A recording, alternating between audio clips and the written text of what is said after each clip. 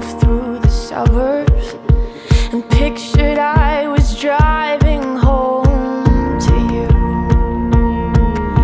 And I know we weren't perfect, but I've never felt this way for no one.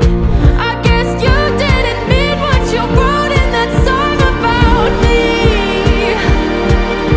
Cause you said forever, now I drive alone past your street.